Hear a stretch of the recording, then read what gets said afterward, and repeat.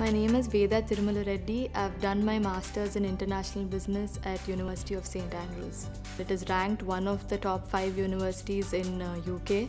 Uh, it is a special place uh, with uh, uh, unique uh, university traditions such as the May Dip, where on uh, 1st of every May students plunge into the North Sea at wee hours. That was memorable. It was 3 a.m. and freezing.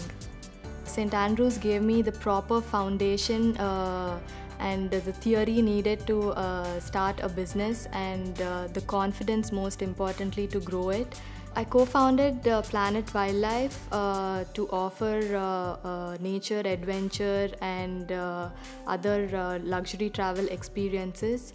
So, uh, Planet Wildlife offers uh, trips to uh, biologically sensitive uh, regions, and uh, mm, we initially started uh, in, in India and it grew quickly. So later, I wanted to make it make it a global brand. So we acquired companies in Australia and South Africa, and today Planet Wildlife has a global clientele and an annual turnover of 15 million dollars.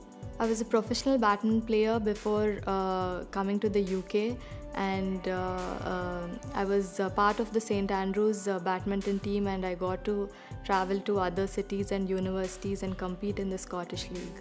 I used to visit a lot of wildlife destinations when I was young because my father is an avid wildlife photographer. I used to see a lot of waste and plastic while I was going to biologically sensitive regions.